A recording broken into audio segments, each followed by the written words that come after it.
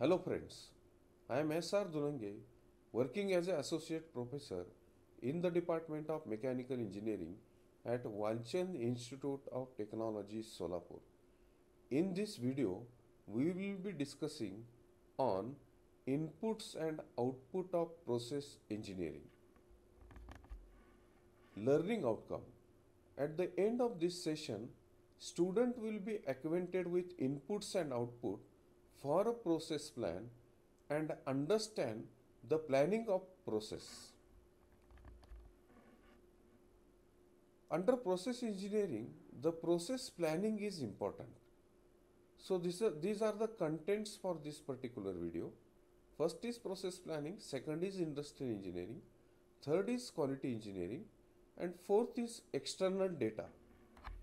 Now let us see one by one what is the process planning.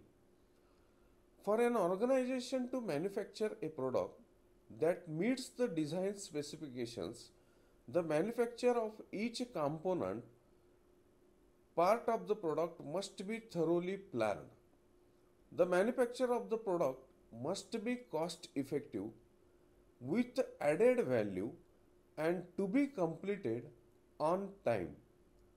Therefore, through process planning, the manufacturing engineer is responsible for ensuring that the product is manufactured to the correct specifications at the lowest possible cost and completed on time. Process planning provides a valuable interface between the design and manufacturing function. It is also closely linked with both industrial engineering and quality engineering. Now, what is industrial engineering? The responsibility is usually so- to support manufacturing engineering.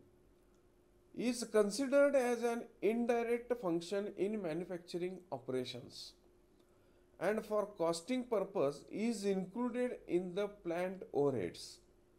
The main focus of industrial engineer is how the work is done and improving this if possible. It involves method study, work measurement, plant layout, material handling, and plant maintenance. Now, what is quality engineering? Quality engineering deals with the analysis of a manufacturing system at all stages to improve the quality of the production process of its output. And the fourth is external data that is provided by either a machine tool manufacturer or a cutting tool manufacturer.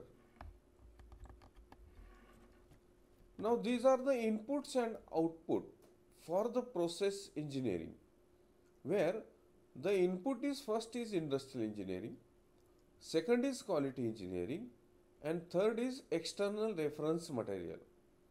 Now, industrial engineering has got two components. One is method study, another is work measurement. Quality engineering has got two components. One is capability study, second is process improvement, and external reference material has got two components. One is a machine tool data from the manufacturer. Second is a tool manufacturer data that is a cutting tool manufacturer data now in this video we will be concentrating on industrial engineering. Now here there are two components of industrial engineering. One is a method study another is a work measurement. Now what is method study? Method study is nothing but the best way of doing any work.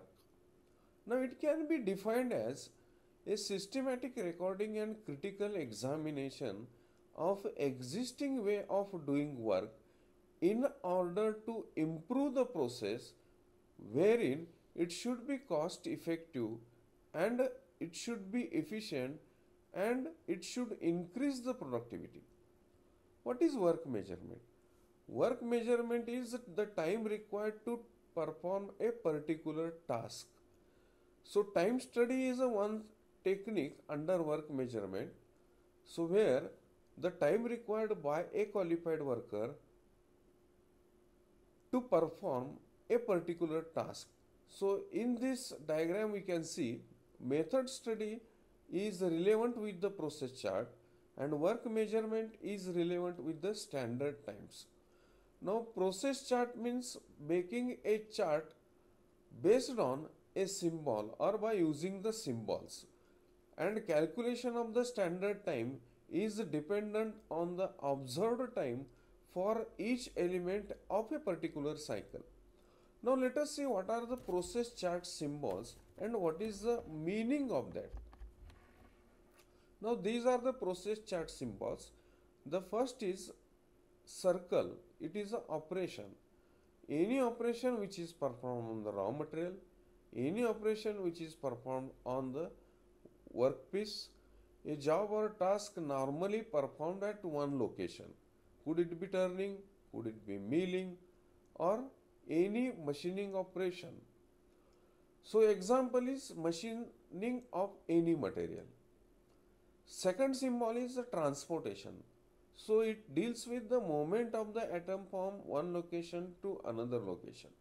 So it could be moved by manually or conveyor. So here the movement of the material from one destination to another destination. So in the product type of layout, the material has to move horizontally from one station to another station. Inspection the determination of acceptability of an atom. So inspection means what? Whether the part is accepted or rejected. Now how we come to know it is based on the dimensions and the tolerances which are given on the product. So examine material for quality or quantity. Next is delay. A pause or interruption in scheduled work. So here the workpiece is waiting for the machine and the machine is busy with the other material. Material waiting to be processed.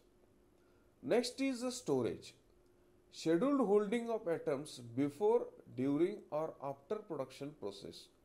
So when the raw material is waiting in store or the product is waiting in store for the delivery. Now by making use of these particular six symbols we can construct any type of chart. Could it be a man based where the man is moving? Could it be a equipment based where the equipment is moving? Could it be a machine based where machine is moving or could it be based on the material where the material is moving from one destination to another destination. Now this is a flow process chart for a material type. So here six symbols are there and in all 10 steps are there we can call 10 elements are there. So let us see this particular process chart where all the symbols are given and the movement of the material from one destination to another destination. So it is for a existing way of doing work.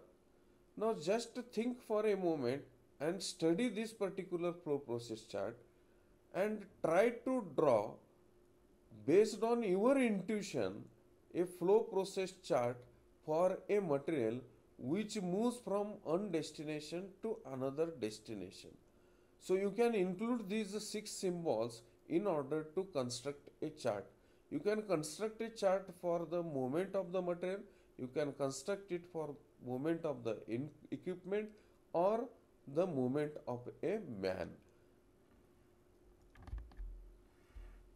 Now in the next video we will see the quality engineering which is acting as an input for the process planning now the references for this particular input and output model is Process Planning by Eri Johnson, Process Planning by Peter, Peter Scallan. Thank you.